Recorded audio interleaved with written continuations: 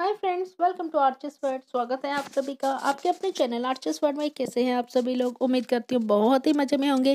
Friends, आज मैं आपके साथ रेसिपी शेयर करने वाली हूँ घी के कोफ्ते बनाने में बहुत ज़्यादा स्वादिष्ट, बहुत सिंपल है, लेकिन बहुत ज़्यादा टेस्टी है।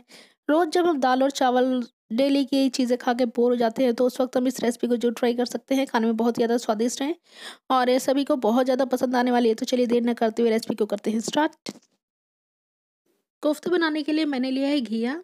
उसको मैंने कद्दूकस कर लिया है, आप देख सकते हैं, और मैंने लिया है उसके साथ स्प्रिंग अनियन। उसको मैंने छोटे छोटे पीसेस में कट किया है। यहाँ पर आप देख सकते हैं, मैंने तीन मीडियम साइज़ की प्याज लिया उसको भी बारीक बारीक चॉप कर लिया है। स्प्रिंग अनियन को भी बारीक चॉप कर लिया तो आप देख सकते हैं। और ये थोड़े से स्प्रिंग अनियन को मैंने मोटा मोटा कट करके घी के साथ रखा है, उसके साथ ही मिक्स करूँगी। और यहाँ पर मैंने लिया है लहसुन उसको बारीक कट कर लिया और ये है टमाटर। देसी टमाटर इसको मैंने छोटे छोटे पीसेस में कट कर लिया है। तो इन सब चीज़ों का यूज़ करेंगे और यहाँ पर एक इंच अदरक है उसको मैंने कद्दूकस कर लिया है। तो सबसे पहले हमने घी को हाथों से प्रेस करके उसका एक्स्ट्रा वाटर जो है वो निकाल देना है। और इसके बाद मैंने इसमें डेढ़ सौ ग्राम जो है तकरीबन बेसन का यूज़ किया है। आधा चम्मच हींग हींग से बहुत ही अच्छा टेस्ट आता है। और स्प्रिंग अनियन जो हम इसके अंदर यूज़ करने वाले, जो थोड़े से हमने कट करके रखे थे, उससे कलरफुल बहुत ही अच्छा सा इसका लुक आता है खाने में और देखने में भी। तो उसके बाद हम मसाले ऐड करेंगे। आधा चम्मच हल्दी पाउडर, एक चम्मच लाल मिर्च पाउडर और नमक स्वाद के अनुसार इसको बहुत ही अच्छी तरीके से मिक्स कर देंगे। तो मिक्स होने के बाद कुछ इस तरीके का इसका लुक आएगा देख सकते हैं आप। दूसरी तरफ़ मैंने गैस ऑन करके उस पर कढ़ाई रख दी है गर्म होने के लिए। मस्टर्ड ऑयल का यूज़ कर रही हूँ मैं बनाने के लिए आप रिफाइंड ऑयल का यूज़ भी कर सकते हैं। तो उसके बाद इसकी छोटी छोटी सी पकौड़ियाँ डाल के इसमें हम फ्राई कर लेंगे। मीडियम फ्लेम पे फ्राई करेंगे हम इसको गोल्डन ब्राउन, ताकि अच्छी तरीके से अंदर तक सिक जाए। तो यहाँ पर आप देख सकते हैं इस तरीके से इसकी हम पकौड़ियाँ बना के निकाल लेंगे और उसके बाद जो लेफ़्ट ओवर ऑयल बचेगा, उसी के अंदर हम इसका तड़का लगाएँगे। तो यहाँ पर सबसे पहले मैंने हरी मिर्च और लहसुन जो हमने कट करके रखे थे बहुत ही बारीक तो वो ऐड कर दिया मैंने। इसको दो मिनट चलाऊँगी क्योंकि ऑयल बिल्कुल गर्म है तो इसके बाद ही मैं इसके अंदर प्याज और स्प्रिंग अनियन जो मैंने कट करके रखा हुआ था, वो इसके अंदर डाल दूँगी। मीडियम फ्लेम पे ही इसको हम गोल्डन ब्राउन होने तक फ्राई करेंगे, भूनेंगे अच्छी तरीके से। तो क्योंकि हमने इसमें प्याज का ज़्यादा यूज़ किया है, प्याज और लहसुन का, इसी से इसकी ग्रेवी बनती है, बहुत ही ज़्यादा टेस्टी बनती है। तो एक बार आप इस तरीके से इस रेसिपी को ज़रूर ट्राई करें। तो यहाँ पर आप देख सकते हैं, ये पकौड़ियाँ मैंने प्लेट के अंदर ट्रांसफ़र कर ली हैं, कुछ इस तरीके का इसका लुक है। तो इसे आप वैसे भी चाय के साथ खा सकते हैं, बहुत ही ज़्यादा टेस्टी लगती हैं। तो यहाँ पर आप देख सकते हैं, प्याज जो है वो काफ़ी हद तक भुन चुका है। तो उसके अंदर मैंने यहाँ पर अदरक और टमाटर को ऐड कर दिया है। इसको दो से तीन मिनट में और चलाऊँगी और इसके बाद फिर हम एक एक करके इसके अंदर सारे मसाले ऐड करेंगे। तो यहाँ पर आप देख सकते हैं, भुनने के बाद बहुत ही प्यारा सा इसका कलर और बहुत ही प्यारी सी इसकी खुशबू आएगी, लहसुन की, अदरक की। और जो हमने स्प्रिंग अनियन जो इसके अंदर ऐड किया है ना, उसकी बहुत ही प्यारी सी खुशबू आती है, जो हमारी भूख को बहुत ज़्यादा बढ़ा देती हैं।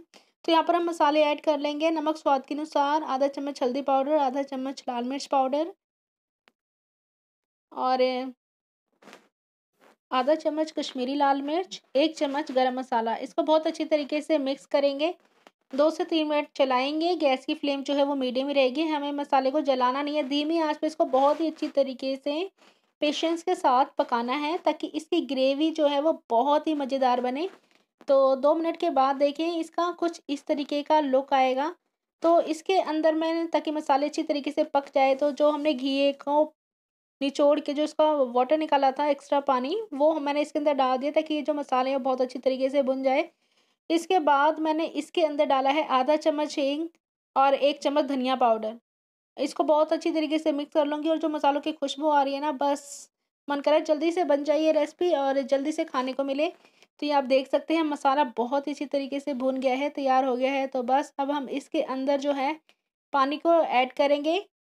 तो यहाँ पर मैंने डेढ़ गिलास पानी का यूज़ किया है ताकि इसकी बहुत ही प्यारी सी ग्रेवी तैयार हो।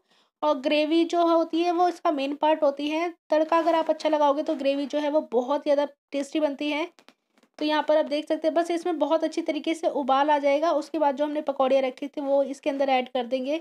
और हमारे घी के कोफ्ते बन के बिल्कुल तैयार हैं तो बहुत अच्छी तरीके से इसके अंदर उबाल आ रहा है। तो यहाँ पर एक एक करके हम सारे पकौड़े जो हैं, वो इसके अंदर ऐड कर देंगे। और बस पाँच मिनट के बाद जो है, हमारे कोफ्ते बन के बिल्कुल रेडी हैं। तो मैं दिखाती हूँ आपको पाँच मिनट के बाद इसका फाइनल लुक।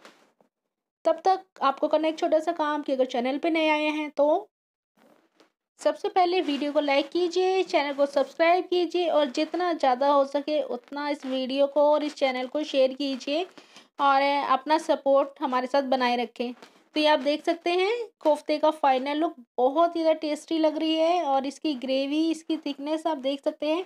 एक बार इस रेसिपी को ज़रूर ट्राई करें और अपना फीडबैक मेरे साथ ज़रूर शेयर करें कि आपको ये रेसिपी कैसी लगी है। बहुत ही ज़्यादा टेस्टी, स्वादिष्ट और हम इसे राइस और चपाती के साथ खाने वाले हैं। तो आ जाएँ आप भी और टेस्ट करें। बताएँ आपको ये रेसिपी कैसी लगी है। तो जब तक आप इस रेसिपी को टेस्ट करते हैं, तब तक मैं करती हूँ दूसरी और नई रेसिपी की तैयारी। तो मिलती हूँ बहुत जल्द एक नई और प्यारी सी रेसिपी के साथ। तब तक के लिए wait and watch yummy yummy new recipe Archis world